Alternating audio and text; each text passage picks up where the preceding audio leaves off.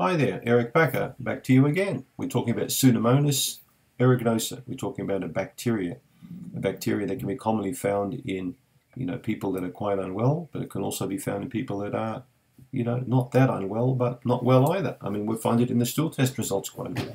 So, what's the best eating plan for this kind of person? What are the best foods for them to eat? Well, it's basically like everything else I've talked about on this channel.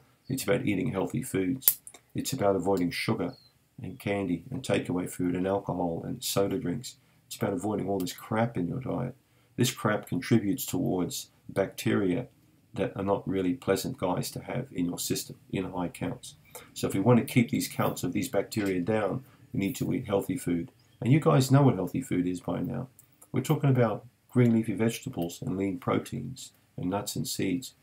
It's more about the omission from the diet, what you can take out rather than what you can put in, is the key thing. I think most people know what they should be eating, but a lot of people like to eat stuff that they shouldn't be eating, and they know what those shouldn'ts are. So if the shouldn'ts get out of the diet, then all the shoulds remain. I mean, simple as that, isn't it? So think of it from that perspective. If you're just eating a good, basic, healthy diet, like the Candida Crusher approach, uh, you should have no problem at all in maintaining a good microbial balance in your digestive system.